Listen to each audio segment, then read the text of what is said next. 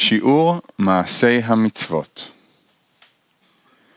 ניתן לנו לקיים תרי"ג מצוות בבחינת המעשה, אפילו שלא בכוונה, רק אם הוא מכוון שהוא עושה עכשיו מצווה אחת מהמצוות שציווה לנו הבורא, מספיק לנו בקיום המצווה.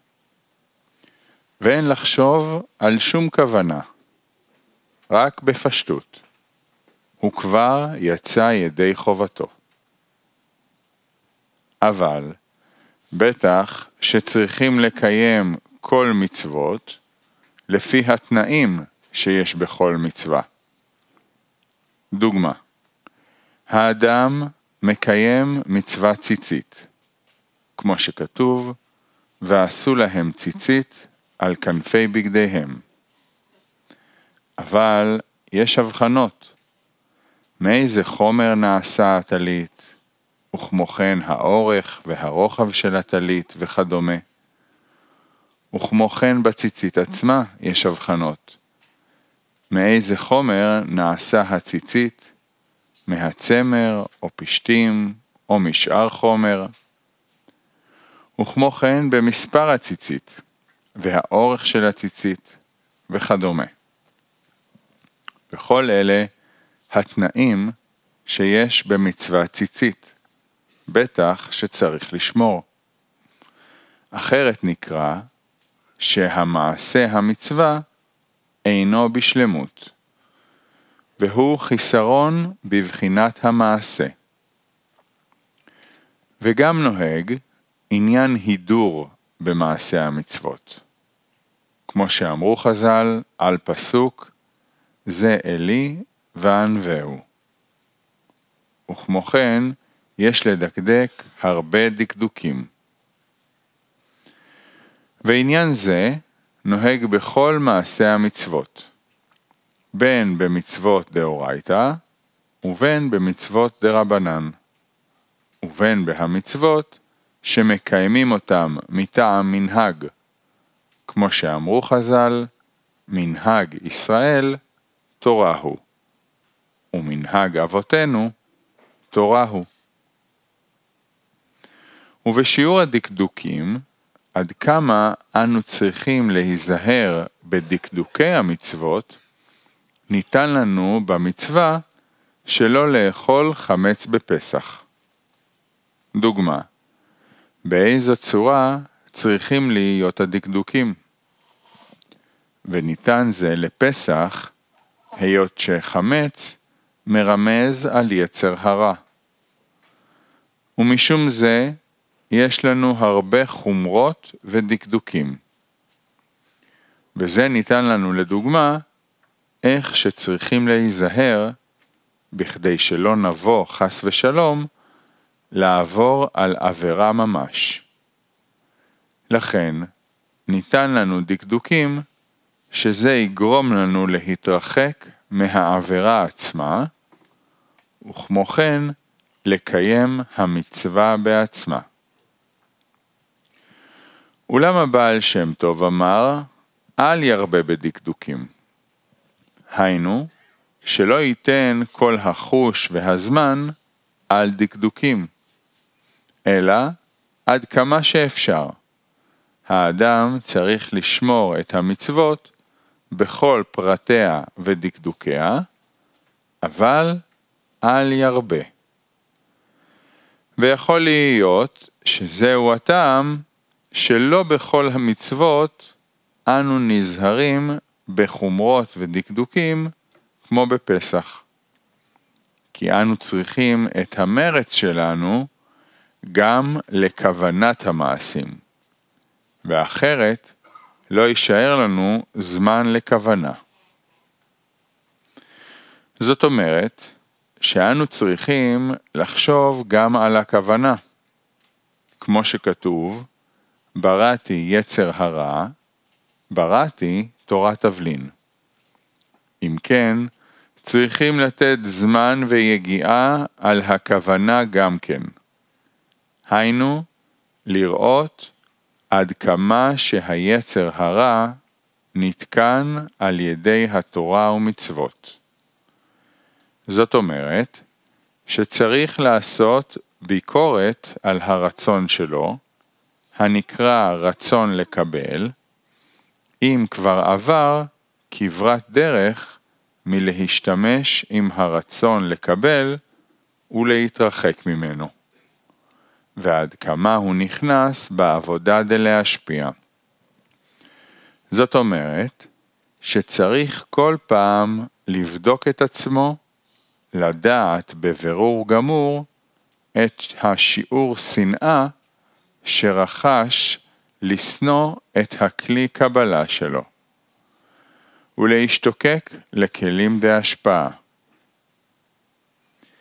אלא זאת, בזמן שהאדם עוסק באיזו מצווה שהיא, אז עליו לדעת קודם כל שהוא מקיים את המצווה בתכלית הפשטות. שעכשיו הוא לא חושב על שום דבר, אלא בזו המצווה שהוא עוסק, היינו שידע שהוא מקיים מצוות השם. ולהאמין שהשם ציווה לנו על ידי משה רבנו עליו השלום, לקיים את הציווי שלו.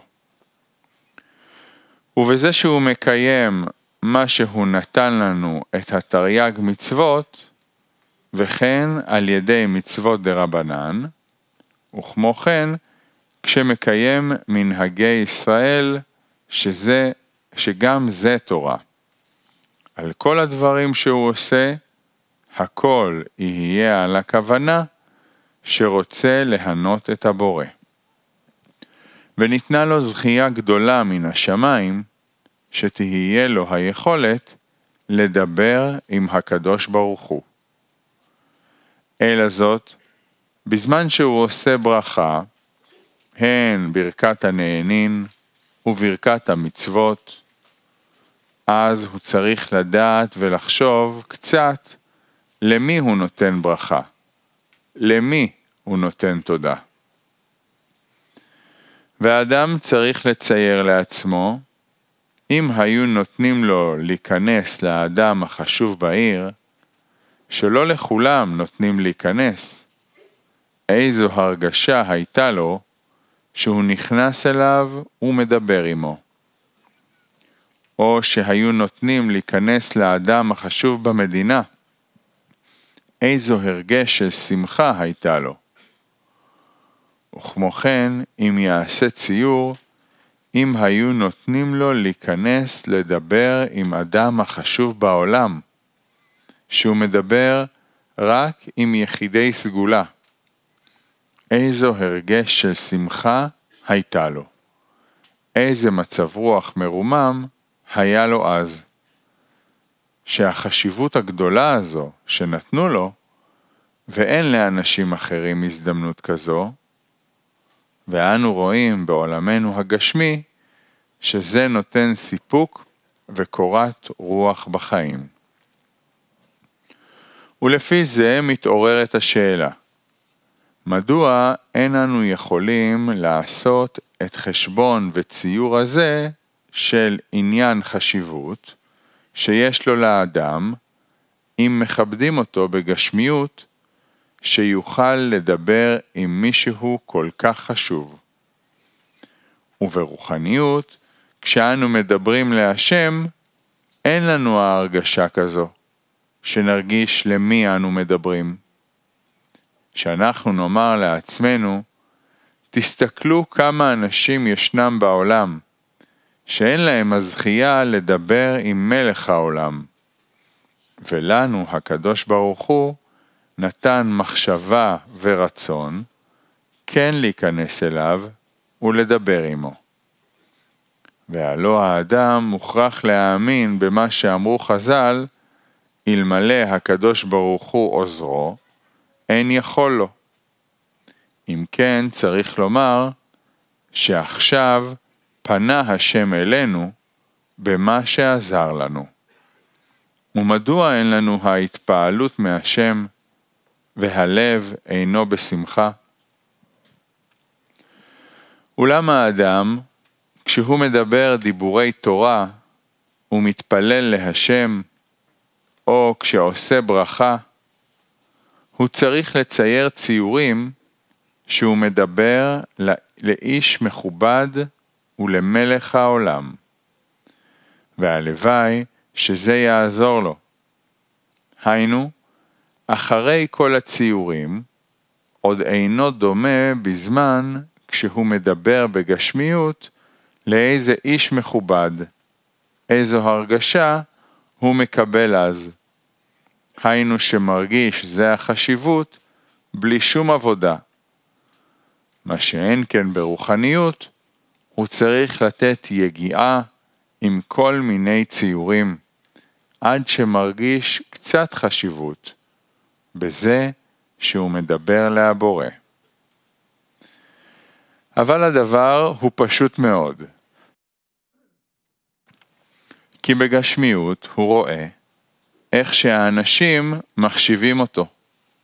לכן, אותו החשיבות שיש בהכלל, גם הפרט מושפע מהם. הוא מקבל על עצמו לשמש אותו מטעם חשיבות שקיבל מהכלל על אותו אדם. מה שאין כן, לגבי הבורא. אין האדם יכול לראות את שיעורו האמיתי שהאנשים מחשיבים את הבורא, אלא הכל בנוי על בחינת האמונה. ובמקום שהאדם צריך להאמין, כבר מתחילה שם בחינת יגיעה, שאז נולדות ספקות בדבר, והוא צריך להכריע כן או לא. וממילא יש ברוחניות עבודה גדולה, בזמן שהאדם צריך להחשיב את הבורא, ובשביל זה לוותר על כמה דברים שהגוף נהנה מהם, והוא מרגיש בזה כאב. היינו, בעת ויתור על התענוגים שלו, והכל בגלל למצוא חן בעיני השם. ליתן לו מקום להיכנס אליו, לדבר עמו, ושהוא ייתן לו, שיוכל להרגיש עם מי הוא מדבר. זאת אומרת, שהשם יתגלה אליו, ושלא יהיה כל כך בהסתרה.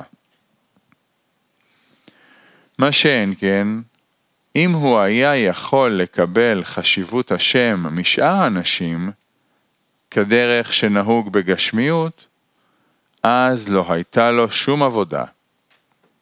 אבל בקדושה יש עניין מיוחד, הנקרא שכינתה בגלותה, או שכינתה באפרה, שכל זה מראה לנו עניין פחיתות, שזהו ההפך מחשיבות. וממילא אין לנו מקום לקבל חשיבות מהכלל, כי בהכלל אנו רואים איך שאין היכר יקר וחשיבות לרוחניות, שיהיה בידו לקבל יסוד ותמיכה, ללכת על מה שקיבל חשיבות, שיהיה סיפוק בידו לוותר על חיי עולם הזה, הנקרא חיי גשמיים, בכדי לקבל עליו לעבוד את השם בעל מנת להשפיע, ולא לתועלת עצמו. וזהו בגלל שאינו רואה אצל אחרים שמחשיבים את הרוחניות עד כדי כך, שיהיה כדאי לוותר על אהבה עצמית. כי בזמן שהוא מתחיל להסתכל על הכלל של לומדי התורה ומקיימי מצוות, הוא לא רואה אצלם שיעור חשיבות כזו, שיעבדו בגלל זה בעל מנת להשפיע. ומובן מאליו, מדוע הוא לא מקבל חשיבות של רוחניות, כמו שמקבל חשיבות בגשמיות מהכלל. היות שבגשמיות הוא רואה שיש כלל שמחשיבים מישהו, ולא חשוב את מי הם מחשיבים, או את מה הם מחשיבים, והוא מושפע מהם. אבל ברוחניות, אין הוא רואה שיש מישהו, אפילו אנשים פרטיים, שיחשיבו את הרוחניות. אם כן, מה הוא יכול לעשות בכדי לקבל חשיבות שיהיה לו כדאי לעבוד בעל מנת להשפיע? ומזה יוצא שיש עבודה גדולה לאדם, שישתדל לעשות מה שביכולתו, בכדי להשיג קצת חשיבות. שיבין שזהו זכייה גדולה שזכה לשמש את הבורא, ולקיים מצוותיו בתכלית הפשטות, היינו, בלי שום כוונות גדולות, אלא סתם שהאדם צריך לקבל שמחה וחיות בזה שהוא מקיים מה שהשם ציווה לנו. היינו שיחשוב שהוא עושה עכשיו רצון המלך, והמלך נהנה מזה שאני עושה רצונו. והוא צריך להאמין למעלה מהדעת שהמחשבות והרצוניות שיש לו, היינו, מה שהם גרמו לו שיעשה את מעשי המצוות, הקדוש ברוך הוא שלח לו. ושזה בא לו מצד את ערותא דלעילא.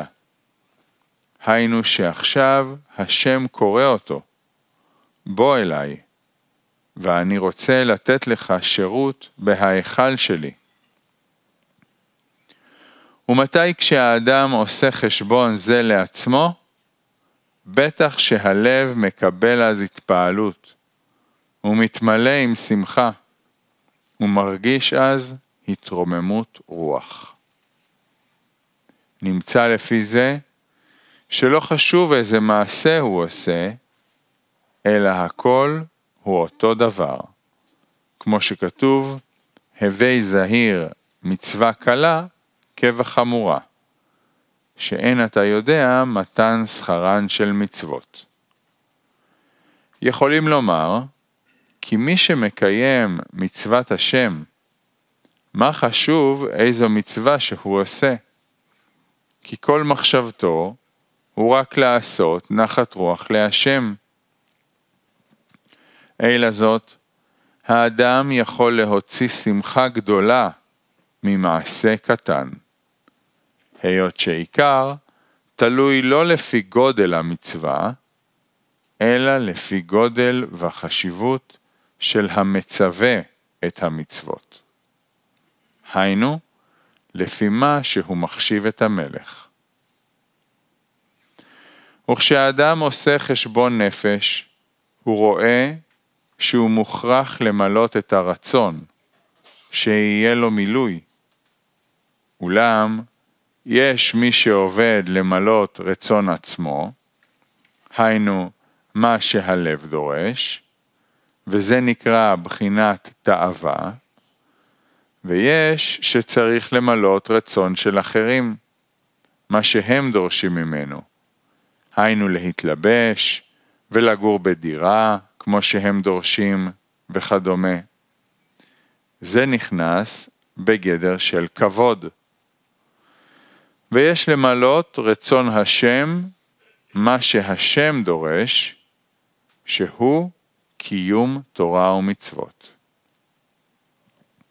אולם האדם יכול לשאול את עצמו, אם באמת כל כך חשובה לי עבודת הבורא, עד שאני מרגיש כל כך חשיבות, ומדוע תכף אחרי כל החשבונות, אני שוכח הכל, ואני נכנס לעולם הגשמי, ומפסיק מכל דבר שבקדושה, ומקבל תכף עבודות למלא רצונות של אחרים.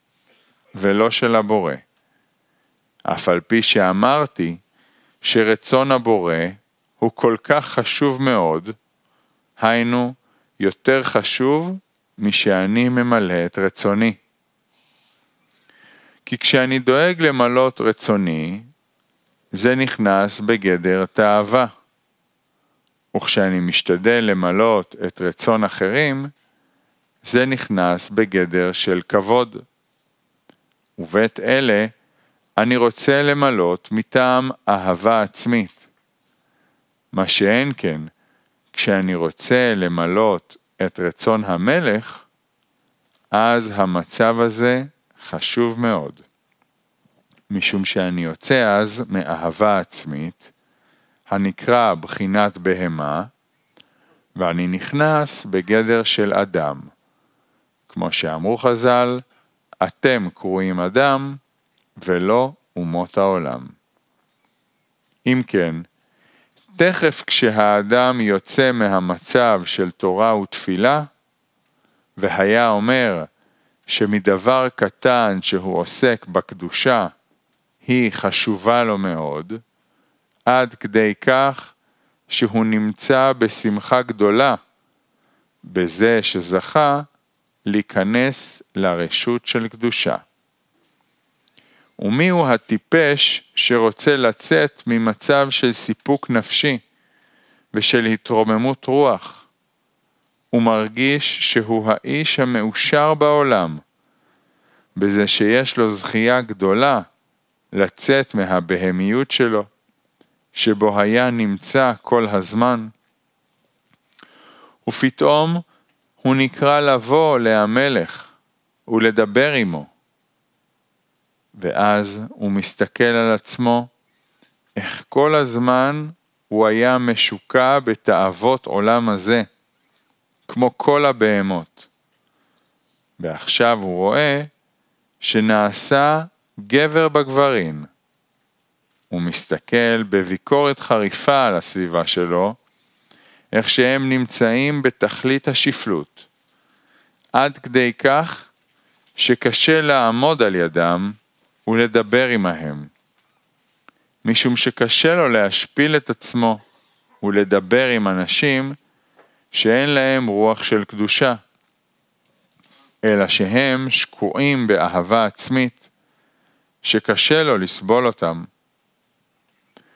ואחר כל זאת, אחר כמה זמן, יכול אפילו לאחר רגע אחד, אחרי כל הביקורת שעשה על הסביבה שלו, הוא שוכח מכל הרוחניות שלו, שבו היה נמצא ונכנס לעולם הגשמי עם כל התאוות הבהמיות.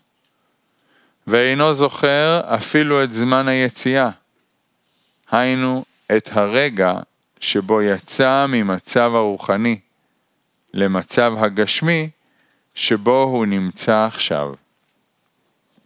אם כן, מתעוררת השאלה, האם בזמן שהיה נמצא במצב הרוחני והייתה לו שמחה ממצבו, האם זה היה שקר?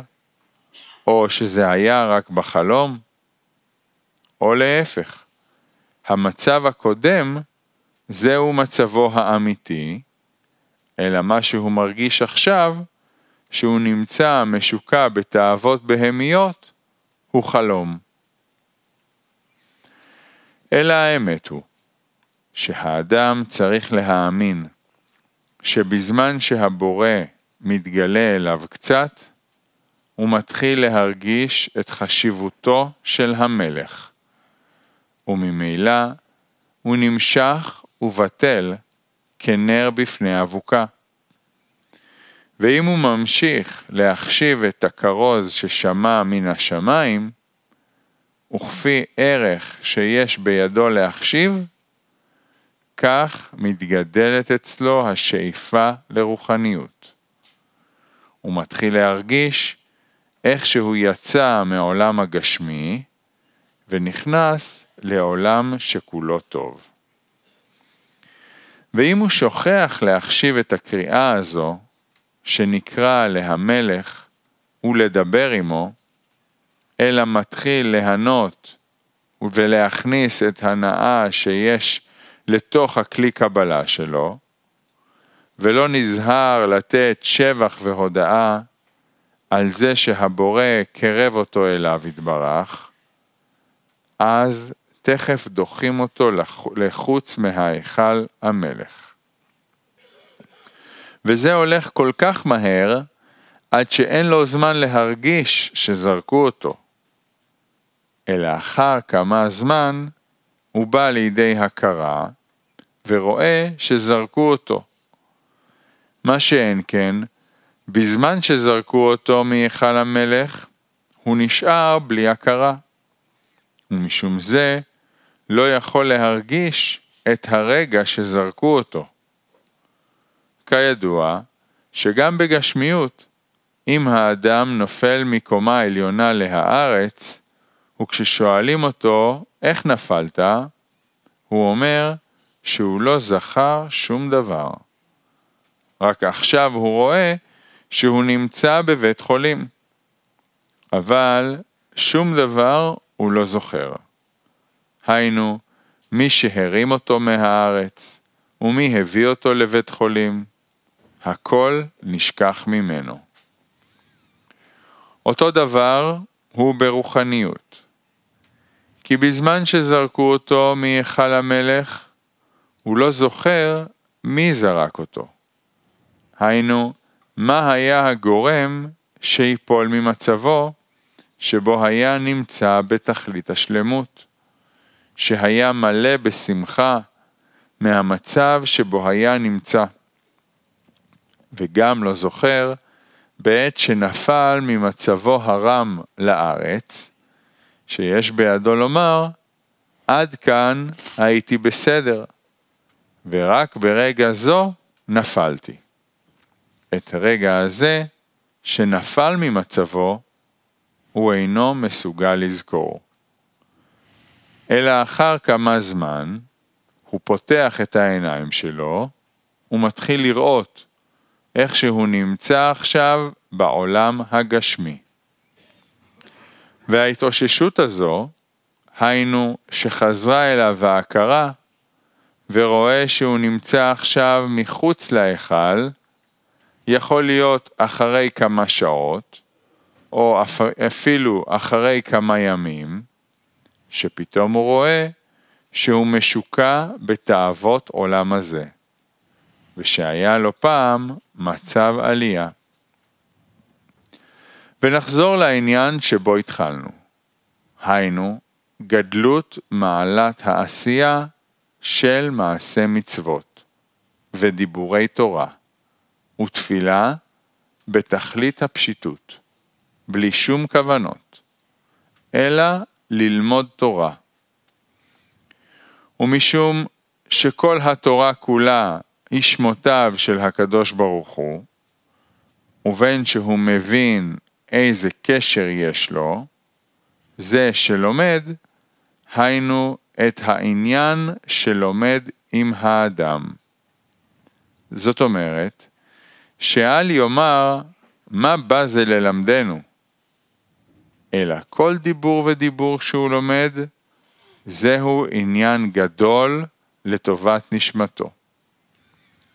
ואף על פי שהוא לא מבין את זה, הוא צריך להאמין באמונת חכמים, שהם הדריכו אותנו כך. וכן בתפילה, שידע ויאמין שכל דיבור ודיבור, מה שרבותינו סידרוהו לנו כך, והכל נאמר ברוח הקודש. ומשום זה צריכים להחשיב כל מילה ומילה. היינו, שיש לו זכייה, שהקדוש ברוך הוא נתן לו מחשבה ורצון לקיים את מצוותיו. ולתת תודה לבורא הזה, כנ"ל, שיאמין שכל מה שהוא עוסק ברוחניות, ולאנשים אחרים אין זכות כזו, אלא שהשם בחר בו לתת לו שירות, שישרת אותו. זה צריך האדם לעשות חשבון נפש, איך שהמלך קורא אותו, ונותן לו קצת הבנה קטנה, לכל הפחות לשמור את מצוותיו, בכדי שיהיה לאדם קצת מגע עם הבורא. ויצייר כנ"ל את חשיבות המלך כפי יכולתו, ומזה להוציא שמחה והתרוממות רוח. וזהו דרך אמת.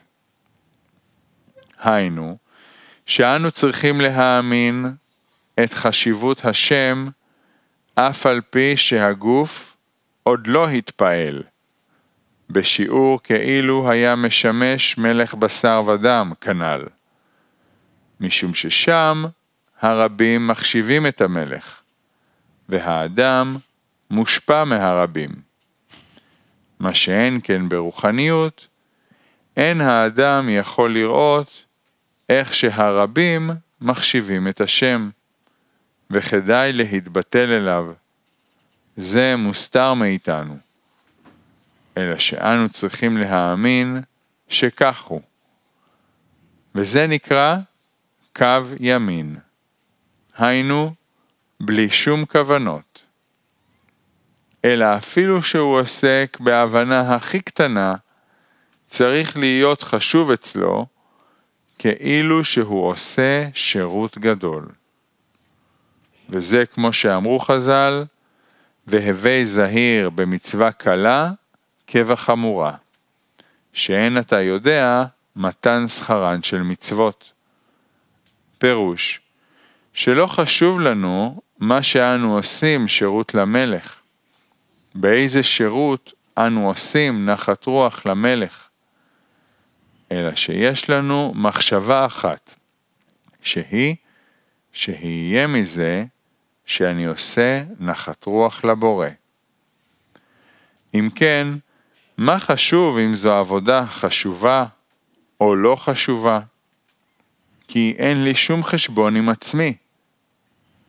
אלא יכולה להיות עבודה שלא כל כך חשובה, שאין הרבה קופצים עליה, לכן הוא רוצה לעשות זאת, משום שזה נחוץ יותר מעבודה חשובה, שיש עליה הרבה קופצים. אמנם השאלה מתעוררת, מדוע אין האדם יכול להרגיש תכף, בתחילת עשייתה, את האור המאיר בהתורה ומצוות? אלא שהוא צריך להאמין שיש שם האור הגנוז, והוא לא יכול לראות את זה. אבל בטח היה יותר טוב אם כן היה מגולה לכל את החשיבות שבה. אז הייתה יכולת לכולם לקיים את התורה ומצוות.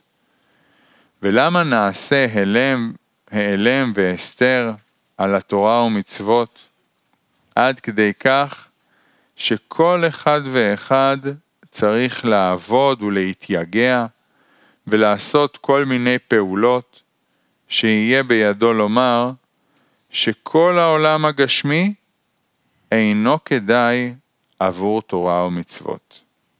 כמו שאמרו חז"ל, יפה שעה אחת בתשובה ומעשים טובים בעולם הזה, מכל חיי עולם הבא. ויפה שעה אחת של קורת רוח בעולם הבא, מכל חיי עולם הזה. אולם ניתנה לנו הסתרה זו, בכדי שיהיה לאדם מקום עבודה של בחירה, שהוא שתהיה לו היכולת לעבוד בתורה ומצוות לשם שמיים, היינו, בעל מנת להשפיע. אחרת, אם היה מגולה האור הגנוז של תורה ומצוות, היה עובד רק מטעם אהבה עצמית. ואז לא הייתה שום אפשרות שהאדם יוכל לבקר את עצמו, אם כוונתו היא להשפיע או לתועלת עצמו. מה שאין כן, שניתן לנו לקיים את התורה ומצוות בזמן ההסתרה, אז האדם יכול לקיים אותם בתכלית הפשיטות, ולומר, אם כוונתי היא בעל מנת להשפיע, מה חשוב לי איזה טעם שאני מרגיש? אלא זאת, אם האדם רוצה לזכות למשהו, הוא צריך לקבל על עצמו לשמור תורה ומצוות בתכלית הפשטות. כנ"ל.